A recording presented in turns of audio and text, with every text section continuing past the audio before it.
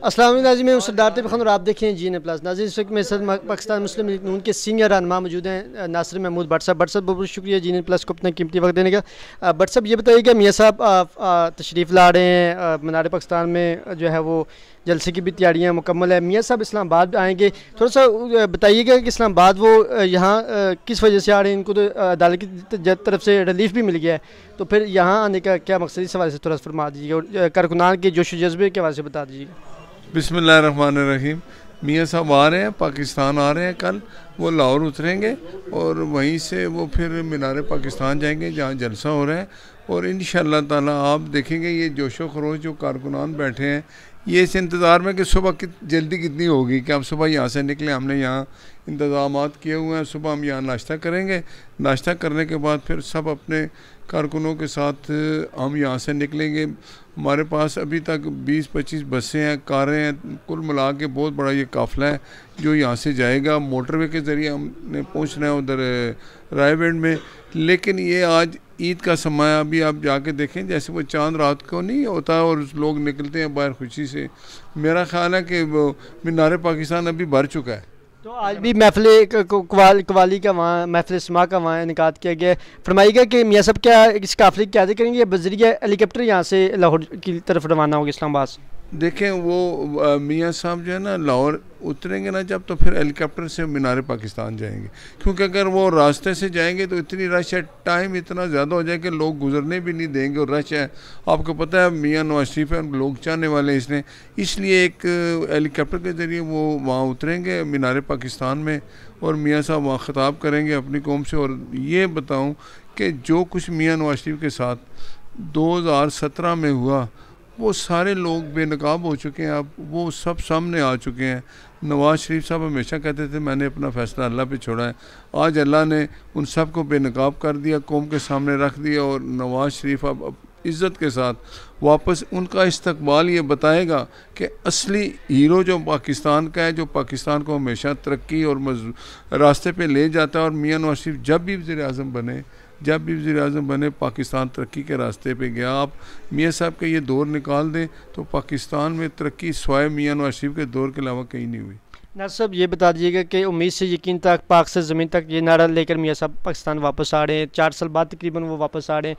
कैसा लगता है कि मियाँ साहब, क्या इस मुल्क में जो मैशत की इस वक्त हालत है, इस वक्त जो गुरबत का जो इस वक्त महँगाई अरूज पर है, क्या मियाँ साहब इसको आगे कंट्रोल कर सकते हैं? क्या उनकी क्यादत में पाकिस्तान दोबारा दो हज़ार सत्रह वाला या दो हज़ार सोलह वाला पाकिस्तान बन सकता है दोबारा से? और इससे बेहतर हो सकता है स्टेबिलिटी, इस्तेकाम कैसे मुमकिन है? और क्या नून लीग जो है वो इस वक्त देखा जाए तो सोलह माह की अगर हम कर करके देखें पी डी एम हुकूमत की तो उसमें काफ़ी तनकीद की जा रही है कि भी उसमें नून लीग भी थी, पीपल्स पार्टी भी थी, एम क्यू, एम भी थी, दीगर जमातें भी थी। तो उसमें मतलब कोई अच्छी कारकर्दगी नहीं, जिससे आवाम जी सख्त मायूस है और पी टी आई वालों को बड़ा जी वोट, सपोर्ट करिए। इस हवाले से क्या कहें? देखें आपने एक बात की, ये चार साल दौर जो था ना इमरान न्याजी का, उसने जो मुल्क की हालत की और उसमें वो जितनी रजीम थी वो आपके सामने है। अगर पीटीएम उस वक्त टेक ओवर ना करते और इसको एक जमहूरी तरीके से ना हटाते तो मुल्क डिफ़ॉल्ट हो चुका होता।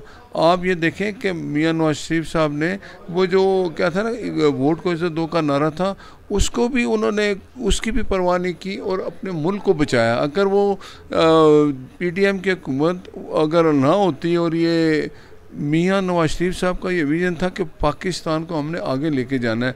अगर आप याद रखें, आज पेट्रोल हुआ है ना, सस्ता चालीस रुपये डॉलर नीचे हुआ है। ये वो सोलह महीने हैं जिसको मीशत को मज़बूत करने के लिए उसको रास्ते पर लगा चलाया गया। आज को आपको मैं बताता हूँ, मियाँ नवाज़ शरीफ जब आएँगे तो 2017 वाला जहाँ से ये सिलसिला टूटा था इन शाला वहाँ फिर शुरू होगा। कौम की उम्मीद सिर्फ़ नवाज़ शरीफ है। मियाँ साहब कल कोई बड़े ऐलान करने जा रहे हैं, क्या अपना मैनिफेस्टो देने जा रहे हैं, आइंदा इलेक्शन के हवाले से? और अब आपको लगता है कि सुप्रीम कोर्ट में भी इलेक्शन वाला मामला टेकअप हो गया नवे रोज़ में इलेक्शन के हवाले से? काजिज फायज साहब जो है इसको इसको समात करने जा रहे हैं। कैसा लगता है कि नवे रोज़ में इलेक्शन होते हैं तो पाकिस्तान मुस्लिम नून को अब एतराज़ तो नहीं होगा? क्योंकि उनके कायद पाकिस्तान तशरीफ़ ला रहे हैं मतलब कि आप पहुँच ही गए हैं। तो अब इलेक्शन अगर होते हैं तो आपको मुस्लिम लीग नून तो इस पर जो है वो इतराज़ तो नहीं करेगी? आप देखें मियाँ नौसिफ ने हमेशा कहा है कि इलेक्शन से जब कोई मुतखब वजी अजम हो तो उसको पाँच साल काम करना चाहिए। नबे रोज़ में इलेक्शन होना चाहिए। मियाँ नवाज़ शरीफ तो इस हक में है, मुस्लिम लीग इस हक में है। बाकी जमातें भी इस हक में है, इलेक्शन होगा, ज़रूर होगा।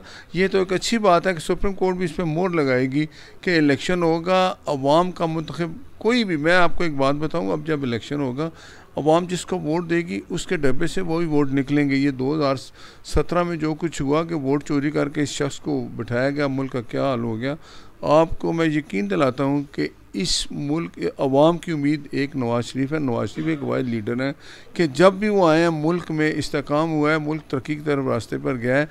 कल का इस्तकबाल आपको बताएगा कि इस मुल्क में आने वाला कायद मियाँ नवाज़ चौथी दफ़ा वजी अजम बनने जा रहा है। सर, आपकी तादी माजी की जो पीपल्स पार्टी है, वो आज मुर्तज़ा आप सबने टाक की है। सॉरी, हसन मुर्तज़ा साहब ने, उन्होंने कहा है कि जो पहले लाडला था इमरान अहमद खान न्याजी साहब को लॉन्च किया गया, अब जो है प्रोजेक्ट नवाज़ शरीफ है, अब दूसरा लाडला आ रहा है पाकिस्तान में। तो ये लाडलों की सियासतें हो रही है और लाडले की वजह से इलेक्शन नहीं हो रहे। मतलब पहले उन्होंने कहा कि खान साहब और अब जो है वो मियाँ साहब। ये आपकी तादी जमात आप पर क्यों तनकीद कर रही है, पीपल्स पार्टी?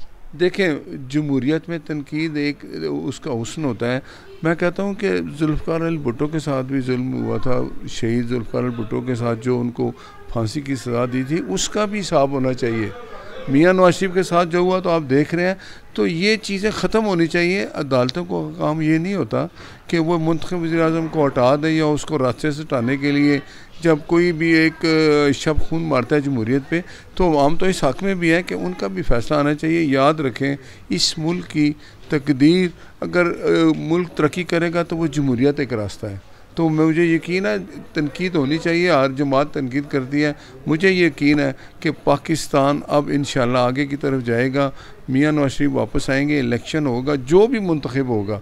आवाम का कल जम गफीर आपको बता देगा कि उनकी ख्वाहिश क्या है कि मियाँ नवाज़ शरीफ सब की उम्मीद है इन ताला कल मेरा कायद आएगा और ये साबित करेंगी, अवाम उनका इस्तबाल करके कि ये चौथी दफ़ा का वजी अजम